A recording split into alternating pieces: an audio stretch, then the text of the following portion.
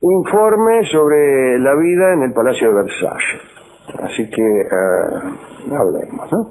Hablemos de aquel palacio que fue construido en un lugar que primero había descubierto Enrique IV mientras casaba, después Luis, Luis XIII, su hijo, hizo alguna clase de reforma, y después la primitiva mansión fue totalmente, no, no ya remodelada, sino eh, destruida probablemente, y arriba se construyó algo que no tenía nada que ver, que es eh, esta eh, enorme construcción que es Versalles.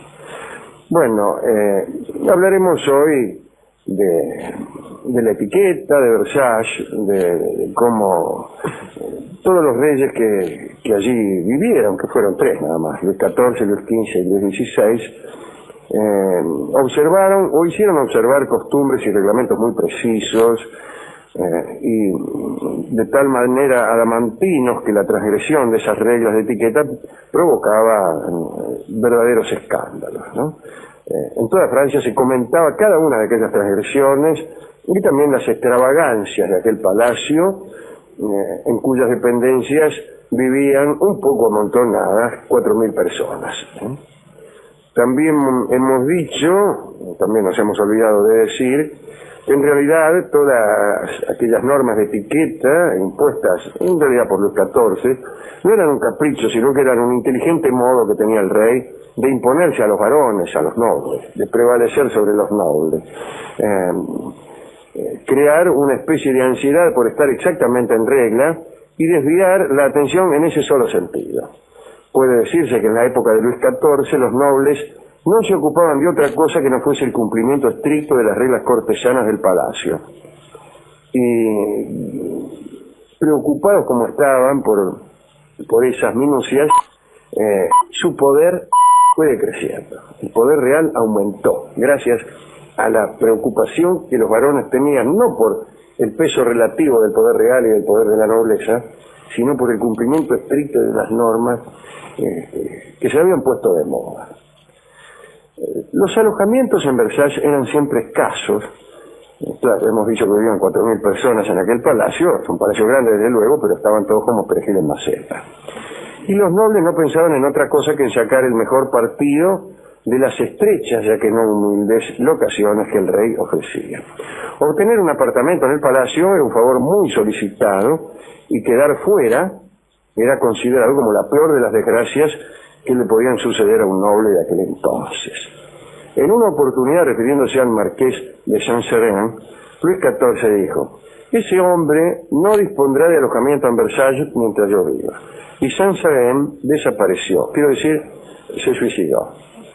Se suicidó este, solamente por no tener un apartamento en Versalles. Había duelos, disputas, eh, litigios, nada más que para conseguir una pieza en el palacio.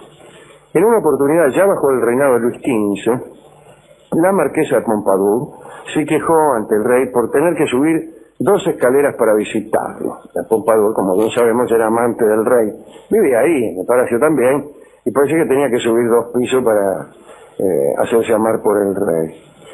Eh, pero en Versalles había un ascensor un primitivo ascensor a cuerda que eh, cuatro hombres accionaban manualmente. Es decir, que había cuatro tipos, no había máquina ni nada. Eh, vos subías, apretabas el botón, o gritaba nomás arriba, o arribeño, no sé qué, y los cuatro tipos que estaban ahí tiraban de la soga y te subían o te bajaban, no sé. El rey nunca subía en ese ascensor, y lo bien que hacía. Tampoco permitía que lo hicieran sus queridas, porque calculaba que el soborno de algún intrigante bastaba para que los encargados de las cuerdas la soltaran en pleno recorrido y adiós mi plata. En cuanto a la moda, Versailles consagraba el criterio a seguir. ¿eh? A comienzos del reinado de Luis XIV estaban de moda, por ejemplo, las calzas y los jubones, que eran las prendas preferidas por los caballeros. Los excesos de adornos señalaban riqueza y entonces todo el mundo se adornaba. El propio Molière se burló de aquellos cortesanos. Eh, leo al amigo Jean-Baptiste. Ah, allí están esos marqueses que se visten en lugar de calzas con un guardarropa tan extenso que puede cubrir el tiempo desde la creación hasta el juicio final. Los zapatos eran tan enormes y tan aparatosos y tan adornados que obligaban al que se los ponía a caminar con la gamba abierta muy lentamente para no caerse, ¿no? Eh, incluso se usaba bastón. El propio Luis XIV impuso el uso del bastón, eh, que en realidad no servía más que para resolver los problemas que creaban los zapatos demasiado grandes. Entonces andaba el tipo ahí con el bastón, caminando con pasitos cortos, las patas muy abiertas y apoyándose en el bastón. Y ese modo de andar, ese modo de caminar, estaba de moda. Hemos dicho el otro día que en aquel entonces, sí, en realidad, muchas épocas eh, se han puesto de moda formas de, caminar, arrastrando los pies, caminando de puntillas, eh, ladeándose para la derecha, en fin. Este, en lo referente a las pelucas, hay que decir que eran muy pesadas. Todo el mundo usaba pelucas en ese tiempo. Pesaban más o menos un kilo. Y para encasquetarse bien la peluca, muchos cortesanos se hacían rasurar el marote. Eh, bien, eh, allá por 1670, Luis XIV estaba muy gordo. Y por tal motivo eh, vestía ropas muy holgadas para disimular un poco el estómago que tenía. Tenía Luis XIV un estómago muy grande y cuando se le hizo la, autopsia se comprobó que era dos veces más grande que el de una persona cualunque. Eh, eh, bueno, para disimular aquella circunstancia, Luis XIV se vestía con esos sacos amplios, qué sé yo, y calcule, estaba lleno de alcahuetes el, palacio, todos empezaron a vestirse igual que el rey, incluso los más blancos, ¿no? Eh, andaban con, con unos sacos que eran anchos, largos, se enredaban por todos los picaportes, en fin. En cuanto a las damas, la verdad es que las modas las imponían las queridas reales, las amantes del rey y no la reina. En Versailles, una, dama de las altas esferas no podía dejar de usar tres faldas, tres polleras. Era de rigurosa etiqueta usar tres polleras. La primera, quiero decir la de arriba, la que uno ve, ¿no? La primera que uno quita, se conocía como la modesta. Me voy a sacar la modesta, decían las negas. La modesta estaba generalmente ornamentada con muchas cintas. La segunda, la que estaba debajo, era la tramposa. Debajo de la modesta estaba la tramposa.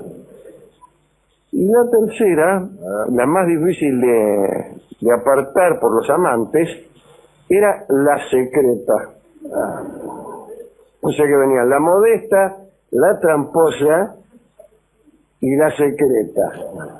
Estoy tentado de hacer un chiste que podría oh. terminar con mi carrera. Sabor humorístico. Hablando de la cuarta.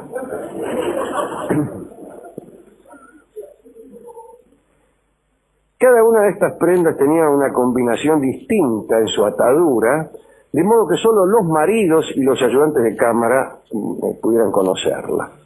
Así que, eh,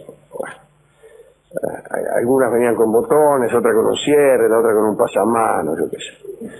Último detalle respecto a la moda. En una oportunidad, una amante del rey Luis XIV, este, Madame eh, de Fontaine, se quitó eh, parte de la puntilla de su encaje y ató su pelo levantándolo sobre su cabeza. Le quedó un peinado alto, a Luis le gustó mucho entonces eh, todas las damas de la corte quisieron peinarse a la Fontaine.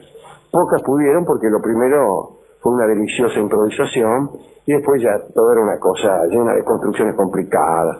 Trataban de hacer el peinado lo más alto posible. Y para lograrlo usaban alambre, meta alambre, palitroques, construcciones altísimas, y el rey empezó a detestar aquella moda porque no le gustaban los rulos pegoteados, claro, imagínense, hacían el armazón y después pegaban el pelo. Un enchastre de goma arábiga, este, no sé qué le pondría, ¿no? grudo, lo que sea. Eh, andaban además agachándose en todas las puertas. Y la cabeza de las mujeres, según dijo ella, quedaba más o menos en el centro del cuerpo, de tan alto que eran los, los peinados. Hablemos de la cocina. La cocina en Versalles era una complicación. Los tres Luises que vivieron en Versalles se encargaron personalmente de administrar la huerta del palacio. Luis XIV quería que le, sirvieran, que le sirvieran espárragos en diciembre, melones en junio y arvejas en mayo. Fueron necesarios siete años de paciente labor para obtener esos frutos en tiempos precisos. O sea que el rey andaba mucho en la quinta, ¿eh? ahí medio agachado, Mirando las arvejas. trabajando eh, ahí. este.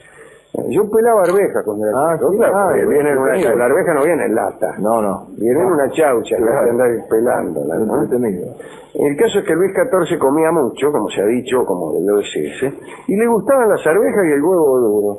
Y dije, ¿eh? Y la arveja hincha mucho. Cuenta la marquesa de Sevigné que cuando llegaba el tiempo de las arvejas, el rey no resistía el placer de satisfacer su gula. Devoraba tantos platos de arveja que al otro día caía enfermo. Se empachaba con arveja. Con alberja, dijo. Y con, y con huevo duro, imagínese. ¿no? mira. Oh. Qué lindo revuelto. Sí.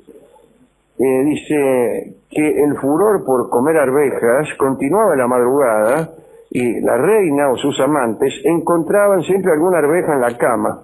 Ajá. Se llevaba arvejas a la cama Luis XIV para comer y se le caían algunas, Ah, naturalmente. ah. Y la reina decía, ¿qué es esto? Y él le decía, una arveja, mi amor. Y se la comía. Y se la comía, desde luego. ¿eh? Me voy a acordar. También, de todas las frutas, eh, le gustaba la pera. ¿eh? En la quinta tenía 300 variedades de pera, cada una de ellas bautizadas por el rey con un nombre diferente. Miren que perdía el tiempo el rey de Francia, ¿no? También eh, cultivaba bergamotas rayadas. Luis XIV, no rayadas con rallador, no, rayadas con Elia, como decía aquí, sino rayadas con Y. Bergamotas Ah, rayadas como hay sandías o melones rayados, ¿no? Este, bueno. También naranjas de Grecia, que el rey le daba a las damas porque decía que las naranjas de Grecia le ponían a las damas los labios más rojos. Y es verdad, pero es la cáscara, la naranja, la que te pone los labios colorados. Eh, si vos andas chupando mucha naranja, ¿verdad? te salen boqueras, te paspas todo. Sí, sí. Te ponen el rojo pero feo los labios, ¿no? Eran muy lindas, claro. No, no. Bueno, hablemos de las fiestas en Versalles. Eran fabulosas. Allí empezaron a utilizarse los fuegos artificiales. En Occidente, porque imagino que en la China tirarían cohetes mucho antes que aquí. Ya Marco Polo cuenta que el, el emperador de la China, para agasajarlo, hizo que algunos cortesanos tiraran unos cohetes. Y se tienen algunos cohetes aquí para, para este amigo que ha llegado de. Occidente para el señor Polo y su tío. Bueno, eh, había muchas fiestas de disfraces en, en no en la China. Eh, habían bailes de máscaras, gran muchedumbre en los bailongos, calcule, si había gente en todas partes, eh, en las galerías, bailaban ahí en una galería que hay. En realidad para entrar era suficiente con presentarse con una máscara y dar el nombre, pero si vos venías eh, enmascarado y decías soy el príncipe de Condé, por ejemplo, eh, y bueno, ¿quién te iba a decir que no? No te iban a sacar la máscara porque vos te podías enojar. En una oportunidad Luis XV apareció con seis amigos a esta fiesta, todos disfrazados de árbol. Es un lindo disfraz. Ah, muy lindo. Sí, sí, sí. O sea que eran como ellos, los seis eran como un pequeño bosquecito. Mm. Ahora nadie sabía cuál de los seis era el rey.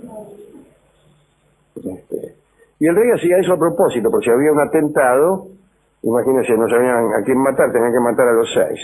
No sabían a qué árbol tal árbol a los criminales. Bueno, eh, sin embargo, las costumbres de Versalles se vinieron abajo con Luis XVI y María Antonieta. ¿no? Primero por la crisis que venía Francia, que vivía Francia, y segundo porque realmente el rey Luis XVI era un tipo muy sencillo, no le gustaban estas cosas, era tímido, se despojó de todo lo suntuoso, encargó a su sastre que le hiciera trajes de lana peinada, simples. El salón de Luis XIV, que, que tenía un billar y ahí se jugaba la lotería, fue convertido por Luis XVI en, una biblioteca y en un taller que él utilizaba para, para trabajar, porque era muy aficionado a la cerrajería y a la reparación de relojes. Era buen relojero el rey, ¿eh? y buen mecánico. También se modificaron las ceremonias, eh, a veces contábamos cómo despertaban a los reyes, venía un, un encargado sacudirlo, el otro lo peinaba, el otro le ponía los calzoncillos, bueno, Parece que durante Luis XVI ya no, no, se dispuso una comitiva enorme para aquella tarea. El rey se despertaba con el grito de alguno. Despiértese, dice, para que está, listo. Eh, María Antonieta tampoco, ¿eh? no, no soportaba esta rigidez en el palacio y la ceremonia a la que tenía que acudir para que la vistieran dejó de existir. Directamente se vestía ella sola, ¿no? En otro tiempo esta era muy, muy rígido, la reina de Francia, por ejemplo, si no le daban de beber, se moría de sed. Porque eh, le tenía que, que dar eh, bebida un encargado, estaba rigurosamente prohibido para la reina servirse ella misma. Así que si la mina quería escabear algo y se vaya a tomar un vermú, un quebracho o algo, eh, tenía que llamar al tipo. Llamaba al tipo y le decía, vos, se servían acá un vermú globo. Bien. Bueno, ¿a quién podemos dedicar este catálogo de costumbres versallescas? Bueno, a mí me gusta Luis XIV porque dejaba arvejas en la cama. A mí la gente que morfa en la cama y se le cae un pedazo me gusta. Yo creo que uno puede comer arvejas en la cama. Lo que uno no puede hacer quizá es volverse loco por la por las arvejas, ¿no? No. Este, demasiado. Claro, a uno le pueden gustar las arvejas, pero volverse loco por las arvejas. mm, eh, yo conozco muchas mujeres que son como las arvejas. Eh, es difícil que no te gusten. Las arvejas les gustan a todo el mundo, ¿no? Eh, pero es difícil que te vuelvas loco por ellas, como las arvejas. Bueno, yo personalmente prefiero mujeres que no sean como las arvejas. A unas y a otras, a las arvejas y estas damas, uno puede hacerles lo que hacía Luis XIV con las arvejas. Se las llevaba a la cama. Claro. Luis XIV llevaba a la cama arvejas y, amigas. Bueno, este... ¿A quién más? Bueno, y a Luis XVI que pagó con la cabeza una revolución que era una fuerza histórica imparable, quizá él no tenía mucha culpa, eh, pero no se puede hablar de culpa. Una revolución es una revolución. Decía, no, mire, discúlpeme, yo no. Bueno, y a todos los que nos conocen, y a las mujeres de Versace que usaban tres polleras, la modesta, la tramposa y, ¿cómo se llama la otra? Secreta. La, la, la secreta. La secreta. Eh, nuestras mujeres de hoy solo utilizan una pollera a la vez, pero eh, por ahí podrían ponerle nombre a su pollera conforme la dificultad que su extirpación viniere a entrañar. Así que una mujer que tiene una, una pollera que se llama la difícil, Sí. claro, Uno no pierde tiempo. La difícil, la imposible, la generosa, la abierta, la superflua, qué sé yo. La ausente. Bueno, la ausente, No sí. tiene. Bueno. Así que esas son las dedicatorias. Eh, vamos a utilizar para hablar de ese lugar, ¿no? Una milonga que canta Mundo Rivero que se llama El Conventillo y que se parece mucho a... Mejor dicho, que, es un, el Conventillo es un lugar que eh, es ciertamente un poco parecido a aquel Versace de los años del 14 donde estaban todos amontonados y donde eh, se vivía una vida de chismes y de limes y de diretes y de, de llevas y traes y de correveidires. Así que el conventillo escucharemos una linda milonga que canta Don Edmundo Rivero. Adelante.